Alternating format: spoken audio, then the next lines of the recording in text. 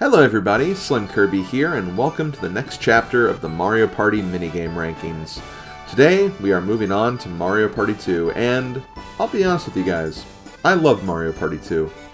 I will always have a special place in my heart for Mario Party 1 for introducing us to the series that has given us lots of joy, lots of frustration, and lots of chaos.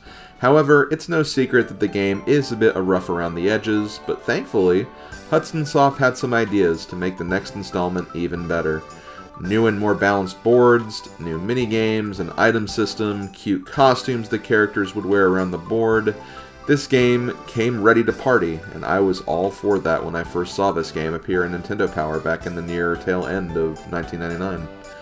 Fast forward 22 years later, and this game has still managed to not only be my favorite Mario Party game, but also hands down one of my favorite party games of all time.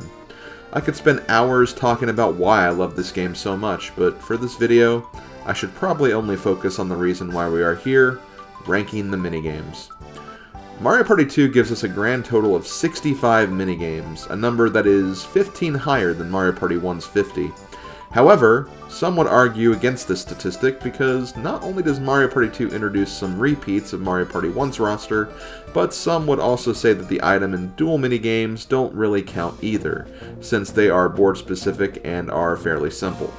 My counter to this former is that while there are quite a number of repeats, many of the games are improved in some manner, and even for the ones that aren't, we are at least given some new courses or puzzle variations to work with it to at least make them a little different.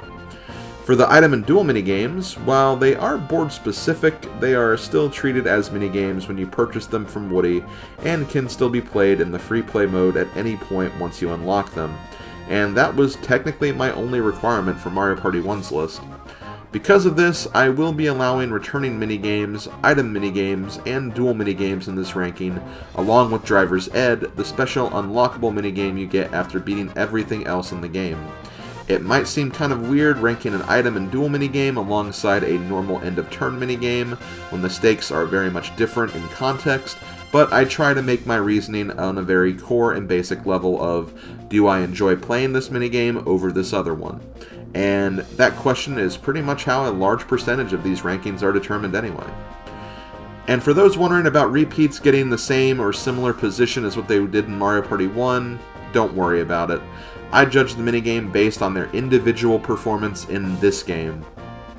Just because the top four of my Mario Party 1 list just so happen to be in this game as well, doesn't mean they'll get any of the same positions as last time. I can fully guarantee that, actually. So, with all that being said, let's go ahead and get right to the action. We have a lot more games to get through this time, and I don't want this video to be over an hour long, so we better get started. I hope you guys enjoy.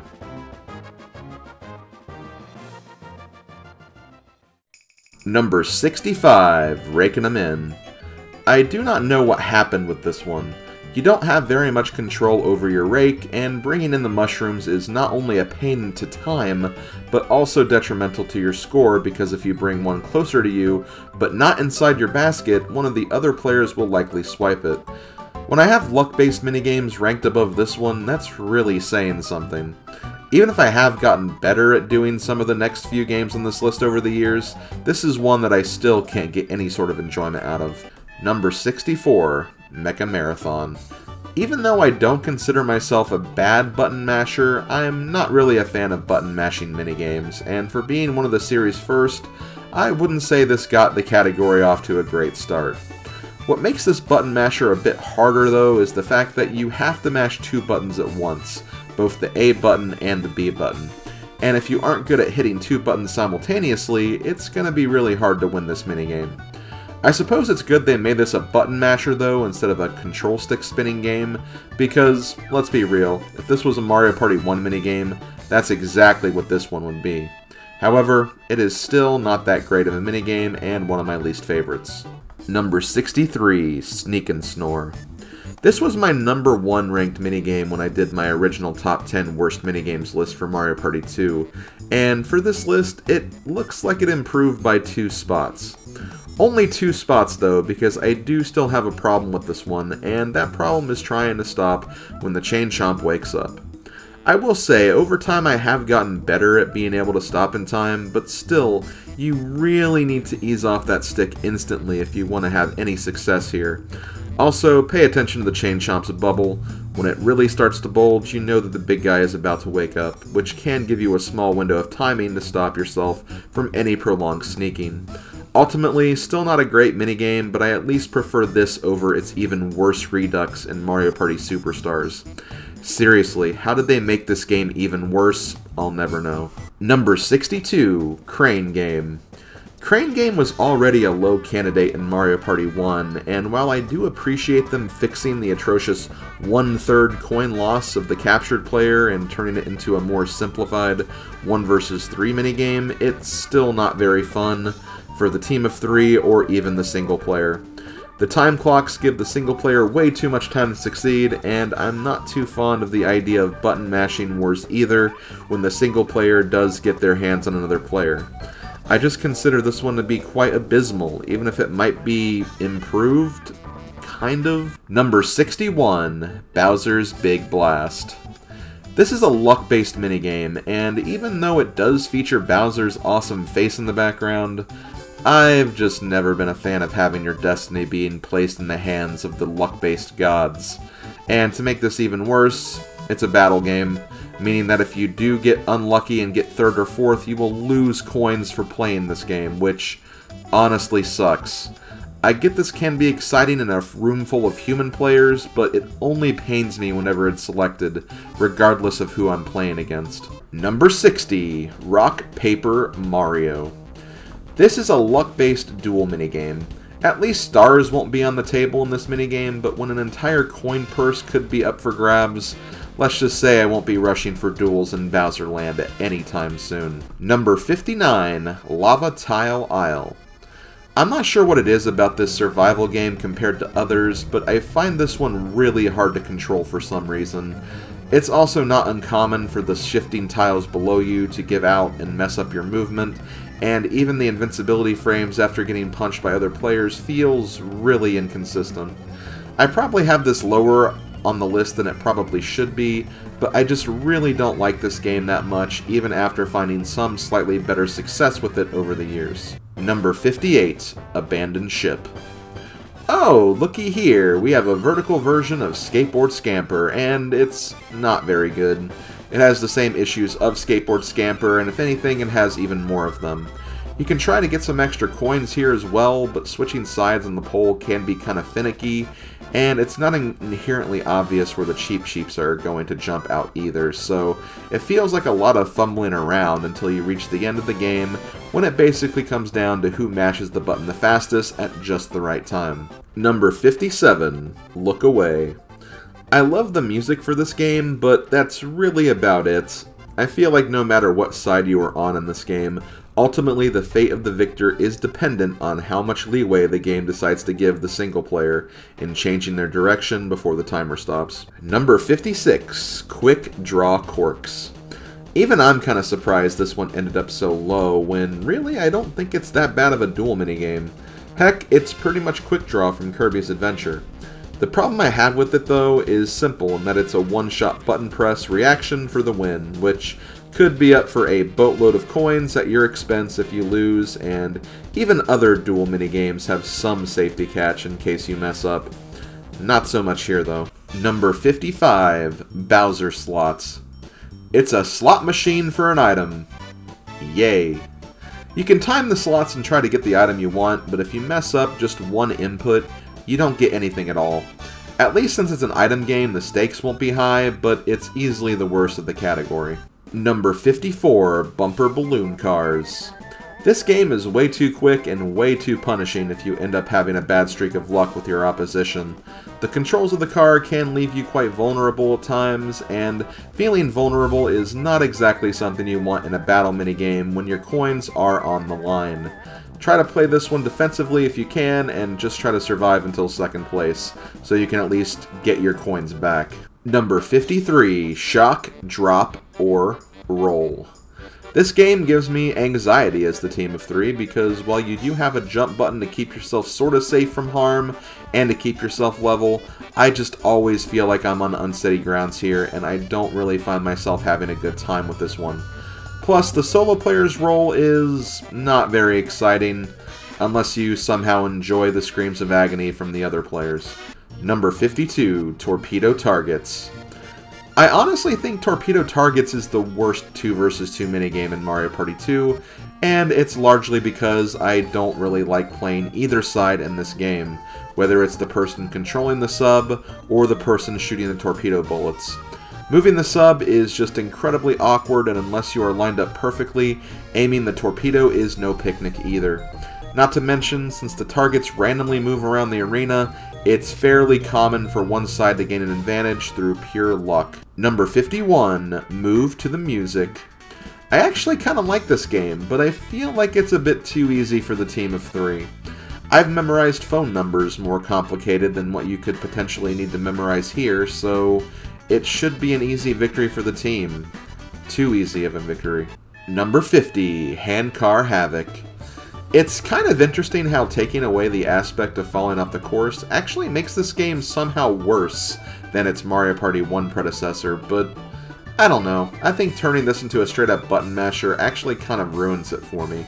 There's still some skill required for how you maneuver around the turns, but I don't know. Most of the time I feel like it just ends up with the better button mashing team on top. Number 49, Speed Hockey. I know this minigame has a lot of fans, but I'm just not one of them. I much prefer the Speed Hockey variant in Mario Party 7 compared to this one. You just have very little control over your character here, and the shell seriously has a mind of its own sometimes. Number 48, Give Me a Break. I find this item minigame incredibly hard to time. I'm not asking for a freebie or anything, but I at least like trying to aim for something, and I swear, sometimes it seems like stopping the train is more random than it appears. At least the stakes are pretty low though, and you can still end up with some item at least. Number 47, Day at the Races. Okay, I know I'm going to get some flack about this one being this much higher than Bowser's Big Blast when they are both essentially luck-based battle games. However, this one is way more exciting to watch, and there is at least some tell to how the racers will perform. It's not entirely accurate, and there is still a luck-based element to it, not to mention the order of how you select the enemies could screw over the person picking last, but overall, I still just enjoy this game a lot more over Bowser's Big Blast and all the other games in between. It's not like this is in the top 10 or anything, it's still back here in 47th place after all, but still, I felt like I needed to explain the larger disparity between the two. Number 46, Archer-ival. I don't think this is a bad game, but I don't think it's a good game either. Plus, it is incredibly in the single player's favor, especially when the Boo, Toad, and Baby Bowser AIs tend to screw over the team of three by locking them out of their own movement. Number 45, Quicksand Cache. The only good thing I can say about this game is that at least it's better than Coin Shower Flower in Mario Party 1. I feel like it's way more balanced for the team of three to get more coins here, and on average, I feel like the gains from this one can be pretty balanced. With that being said, though, I wouldn't say this game is too exciting for me personally. To me, it's just kind of an incredibly average coin collectathon. Number 44, Skateboard Scamper. I do think this game is ultimately better than its Mario Party 1 equivalent, but not by much, and I still think there are some problems with it. The course is a lot more interesting, and the coins are placed a lot bit more strategically this time around, but ultimately the ending will come down to whoever is in the lead at the final straightaway and some of the obstacles, including the shifting floors at the end of the course, can be a bit difficult to overcome efficiently. Number 43, Bumper Balls. Kind of funny how this game still somehow ended up in the same placement as it did in Mario Party 1, but since there are more games to rank this time around, at least we can say that it did improve a little bit. While stalemates are still pretty likely to happen here and are a big reason why this game is still pretty low, there are three different course variations this time around, and those variations do actually add a little bit of variety and can break some of the problematic stalemates. Still not a top pick for me anymore, but improvement is better than nothing. Number 42, Mallet Go Round. It's not much better than Give Me a Break, but at least it's easier to time and does give you a little more time to aim for something you want if you mess up the first swing. Number 41, Psychic Safari. It's a button masher, but an alternative button masher, which I think are a little more interesting than single button mashers or simultaneous ones. It's okay. Number 40, Saber Slashes. I think my problem with the duel mini games in this game are that some of them are just way too short, and I think some of them, like this one, should have a best to three type of stipulation attached to them. I do prefer this one over Bowser, Western, and Mystery Lands games, but I think the other two are ultimately much better than this one. Number 39, Bob-omb Barrage. I wanted to rank this one a little higher actually, because I do find it fun playing as the single player, and trying to avoid the onslaught of bob-ombs being tossed at you. But then I remembered how terribly awkward throwing bombs are as the team of three, and then 39th place doesn't seem so out of line. I guess the complicated controls do kind of help the single player not feel as overwhelmed, but then it just kind of makes this game feel more like the team praying for a lucky throw than have any actual skill involved. Number 38, Honeycomb Havoc. I have kind of a love-hate relationship with this game. There is an element of luck to it, which I hate, but there is also an element of using your mind and trying to outsmart your opponents as you figure out the path to your victory. It's not guaranteed, and if you are against human players who know what they are doing, it's gonna be a little harder to get the assured W. But hey, at least this is not a battle or duel minigame, which seem to be a haven for these brutal luck scenarios. Number 37, Grab Bag. Grab Bag may seem a lot lower this time, but while I don't think this game got worse, I just don't think it, this game did much to elevate itself out of the okay to good category either. It decreased the time limit, which was a concern of mine in the first game, and is less punishing the player currently in first place, and this game being a battle game does honestly make sense. There is a bit of luck factor now, though, as one player is randomly given a gold mushroom, which is worth three mushrooms, and I think the game starts to become too much of who gets that mushroom more than anything. It's largely the same game of grab bag, though. Number 36, Magnet Carta. I'm not sure what it is about the coin free-for-alls this time, but I just find them to be a little underwhelming in this game. I prefer this over Quicksand Cache, but I wouldn't say this game is incredibly noteworthy although it definitely rewards the team who can adjust themselves to the controls faster. Number 35, Hot Bob-omb. Do I think this game is better than its Mario Party 1 counterpart? Sure. Do I think it's much better, though? Mm, not really.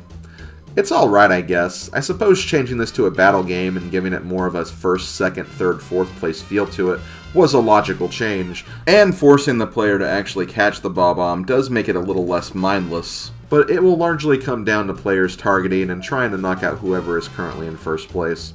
That's all I gotta really say about it. Number 34, Dungeon Dash. Hey, Desert Dash, good to see you again. Looks like you have a nice new dungeon to play in as well. It's pretty much the same minigame though. Number 33, Looney Lumberjacks. Take Dungeon Dash and pretty much swap the left and right inputs for A and B inputs instead. The team dynamic is a bit more interesting though because you will both be pressing different buttons, but the idea is largely the same. Number 32, Cake Factory. I'm cutting this game a lot more slack than what I did the first time around, as this used to be in my bottom 10. However, I've warmed up to it a lot more, and against a full set of human players, this can be a very fun and exciting minigame to play. It can be really punishing though if you make mistakes, and making mistakes isn't exactly hard to do in this game, and that's part of the reason why I have it so low before. On a more even playing field though, this game does shine a lot more, and I do think it's a fine 2 versus 2 minigame. Number 31, Coffin Congestion.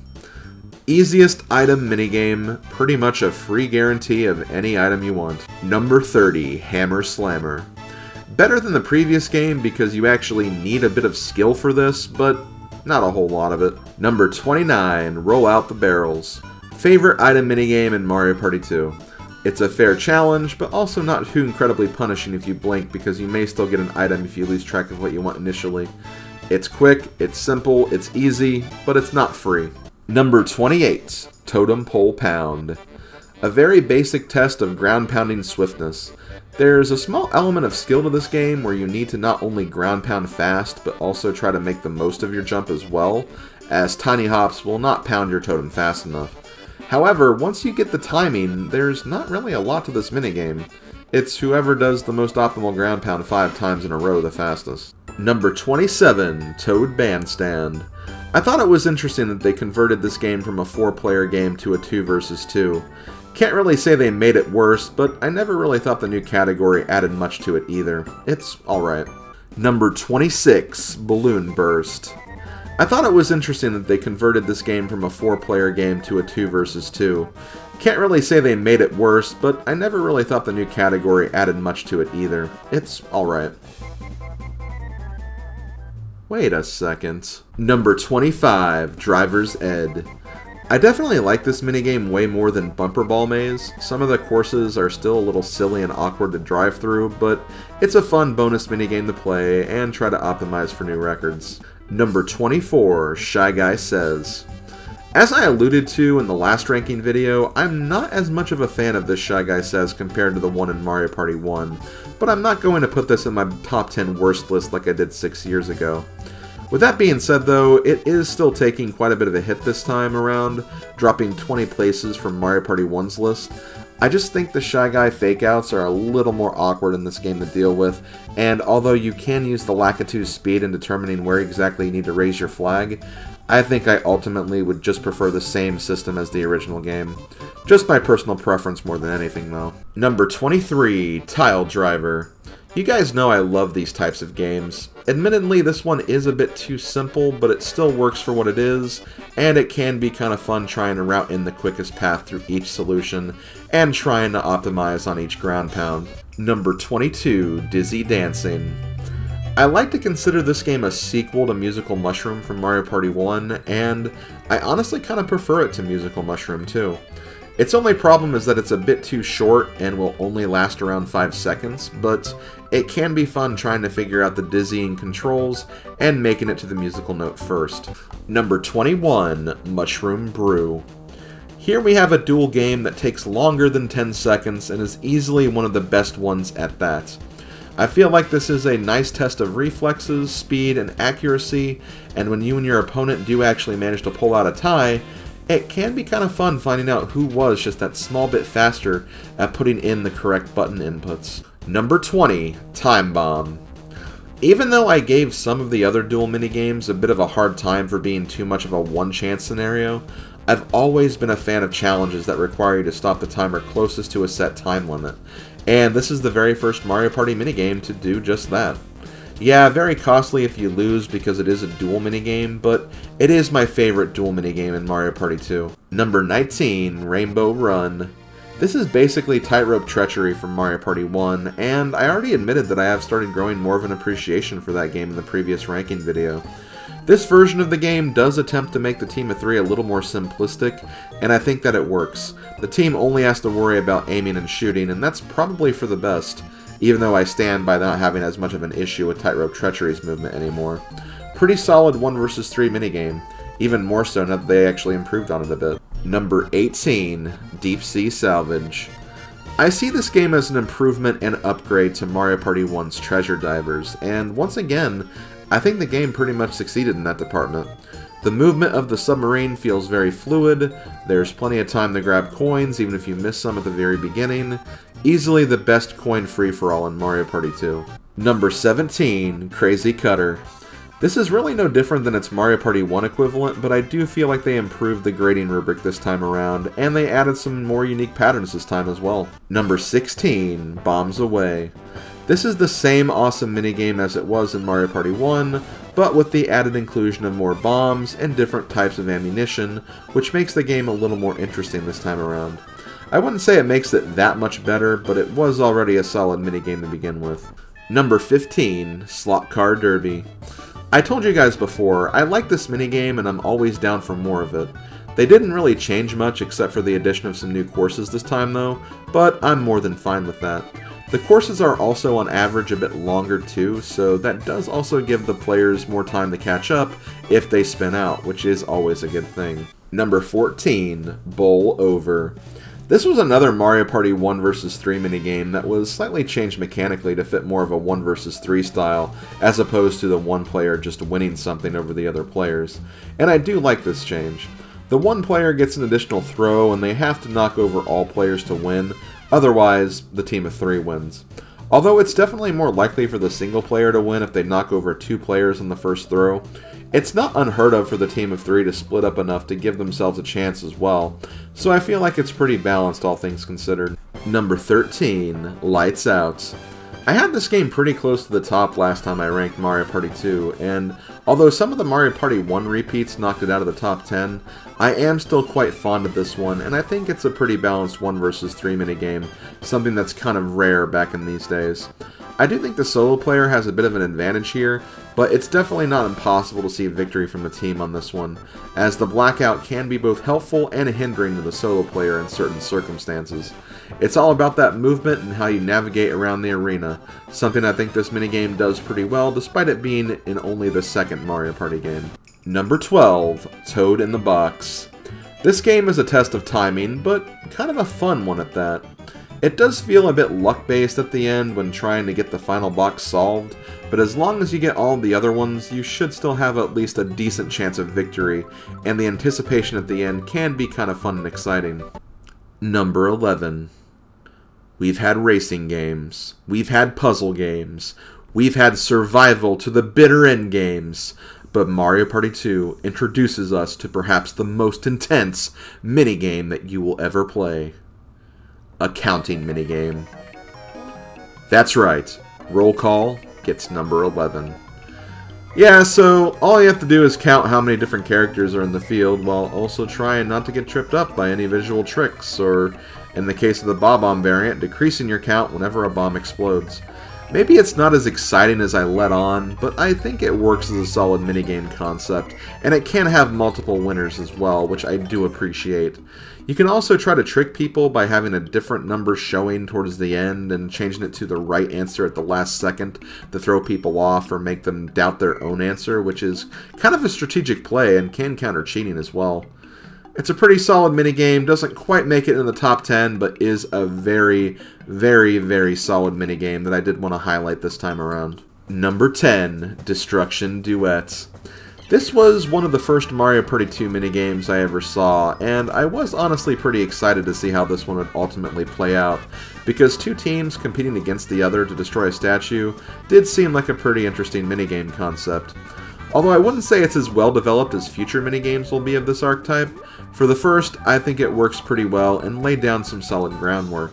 There's also an interesting layer of strategy to this one in terms of your attacking options, where you can just try to go ham on the statue with your partner trying to destroy it quickly, or you can spend an extra second or two getting on top of the statue to use more destructive ground pounds.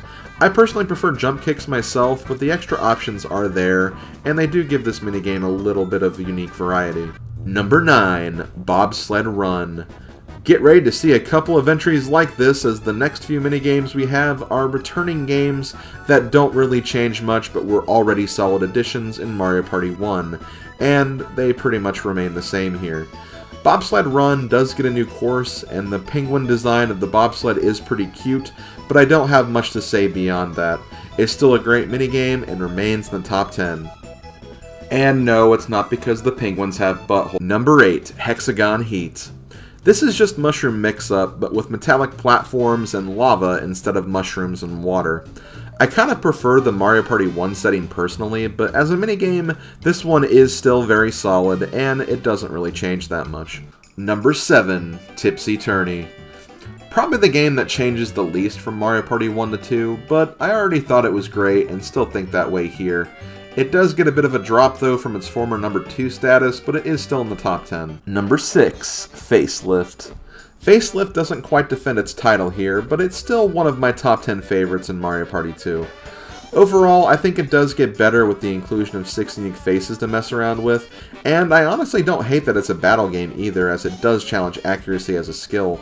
But I wish some of the faces could be edited more. In fact, for Peach's face, you can only edit the hair for some reason. I still love the minigame, but it's definitely not the best minigame this time around. Just my opinion. Number 5, Platform Peril. This game actually came to play this time around, and I'm glad that it did, because this is really quite the improvement. The original Platform Peril was fine, after all it was still in my top 10, but it was pretty bare bones for the most part, and the sequel actually managed to give it a bit more variety and more things to look out for in the form of its obstacles. We have smaller platforms, conveyor belts, more coins to pick up, and even with these new additions, it still stays relatively true to its original design and still feels pretty good to play. If you love the original Platform Peril, you will love this version, and if you thought the original was too boring, maybe this one will at least please you a bit more. Number 4. Shell Shocked. The first time I ranked Mario Party 2, I actually had this as my number 1, and as you can see, that is no longer the case here. Here's the deal with this game. I still really love it, and I really, really like the idea behind it, and if it only had Course 3 as a variation to pick, I could probably still get behind this being my number one pick. However, Courses 1 and 2 exist, and I really don't think they do this minigame justice, because your fate can come down to whether or not the players on your right and left decide to double team you or not, and that really, really sucks when they do. Getting double targeted early on will likely prevent you from being able to get a win, since you will probably take damage and one player will remain unscathed from the chaos, so even if you do manage to escape and outmaneuver the other two players, you still have a full health player to deal with when you only have a single hit left, and that's not very balanced. Course 3 at least mitigates that problem a bit, as you have to navigate around pipes and rely more on lob shots, which definitely feels less stressful and makes the minigame more enjoyable. However, this time I couldn't overlook its flaws that this game does have. It's still a top 5 minigame and one of the best new minigames in Mario Party 2, but I'm not going to rank it number 1 this time. It's still a really, really good game. I still enjoy playing it. I just wish courses 1 and 2 had more pipes that you could use to cover yourself with. That's all I'm saying. Number 3. Earlier I mentioned Lights Out feeling pretty balanced as a 1 versus 3 minigame, at least for me anyway. However, there is another 1 versus 3 minigame in Mario Party 2 that is just as, if not even more balanced, and that game is perhaps the cutest minigame in Mario Party 2. Filet Relay. In this game, one player tries to carry a fish to some hungry penguins at the end of the course, while the team of three have to not only do the same, but also need to pass it off to different players throughout the run. The solo player does move a bit slower as they have a much larger fish to carry with them, but since the team of three have to pass off their meal at every checkpoint, that will give the solo player enough time to catch up and potentially overtake them. The solo player also seems to be a bit sturdier as well, as their percentage of slipping and falling on their butt is also smaller. But yeah, I like how this minigame is set up, and how it feels like both sides have a very even chance of overtaking the other. And I honestly couldn't really say who has the advantage here. I guess I would slightly give it to the team, as their passing animation could mess up the single player, but if you know that it's coming, it shouldn't be too much of a concern. Plus, you also have to put your faith in your teammates as well. It seriously feels like every con has a pro, and every pro has a con. It also has penguins, and penguins are just so freaking cute. Number 2. My number 2 pick is everything my number 52 pick should have been because for this list, I'm giving second place to Sky Pilots. I think with all things considered, Sky Pilots is a fantastic 2 versus 2 minigame. Both players on both teams pilot a flying machine, each teammate is given a specific role for their vehicle, and you both must work together to achieve victory. A perfect synopsis for what a 2 versus 2 minigame should be. For this particular game, one person controls the steering and the other controls the wing speed, and I honestly feel like both roles don't require a whole lot of thinking. The one in front just needs to focus on hitting the boosts and doing sharp turns or nosedives around the obstacles and projectiles, and the one in back just needs to move the control stick up and down in a steady rhythm, and not even in a super fast button mashy way either. It just feels very fluid, it's the perfect length for a quick little race against the other team that doesn't feel too short either, and is just so much better executed than Torpedo Targets. Very nicely done, Mario Party 2. You created a really solid team minigame. Number 1. We all knew Facelift was my number one minigame in Mario Party 1. However, the funny thing is, my favorite minigame in Mario Party 2 is also a Mario Party 1 minigame and not even a minigame that was in the top 10. And I honestly didn't even say much about this minigame in my previous ranking video either. Let's just break it down though and discuss my reasoning for this. My favorite minigame in Mario Party 2 is Hot Rope Jump. What exactly does Hot Rope Jump do to make itself not only different, but just so much better in this game compared to its Mario Party 1 equivalent? Honestly, it doesn't do too much aside from just removing the 20 jump limit and turning it from an easy 10 coin win for all players into a heated, literally and figuratively, endurance match where the winner takes all, and that's kinda cool. It can be a lot of fun testing your skill against other players on not just skill and reflexes, but also fortitude and power of will as the jump counter continues increasing.